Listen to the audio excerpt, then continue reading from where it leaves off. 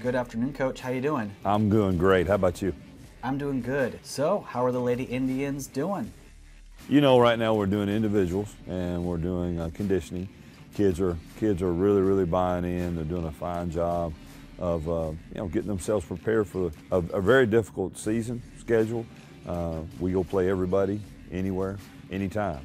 Uh, so they're going to have to be very very very ready uh, to go right at the first of the season because it's going to be a tough one. But with eight sophomores, nine, eight nine sophomores, uh, some returning, some that just brought into our into our family, uh, I think we're more than prepared to do some good things this year. You know, we had some bad bad uh, news yesterday that Kira Files is out. She has a torn ACL, so uh, one of the best players in the country. So that that puts us behind the eight ball a little bit. But you know, with all these sophomores and returners and things like that, I think we'll we'll be more than ready to go. Who are some players that are standing out this year?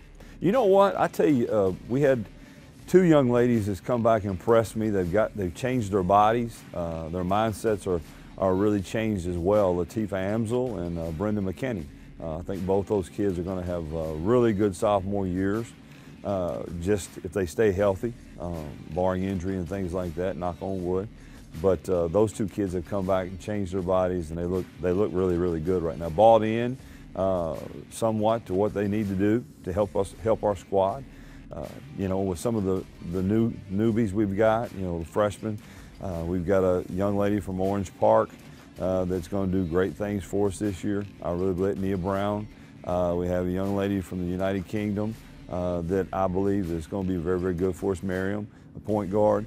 Uh, we've got a young lady from Carrollton, uh, about a five. All these kids are 5'11", 6 foot 6'1", so we have good length. Uh, young lady from Carrollton, Georgia, it's about 5'11", really, really good shooter.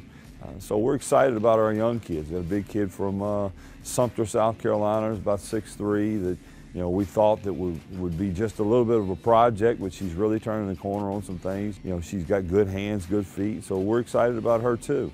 Uh, whether that translates into wins or not, I don't know, but I really, really can tell you this. I think we have a good group of people uh, that will represent Chipola really well, uh, and that's what I'm really most excited about. I was just going through grade checks, and I can't be particular about who because that might be against the law for me to say, but I'm really excited about the fact that almost every kid is all A's and B's.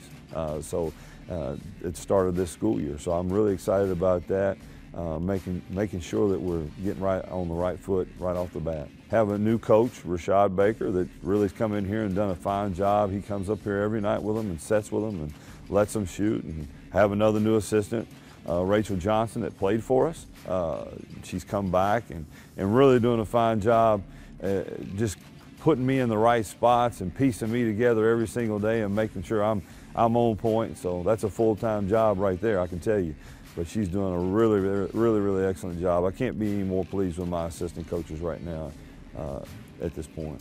Thanks, Coach, for that update. We look forward to it in our new season. We'll see you next week. Thank you. Appreciate you, buddy.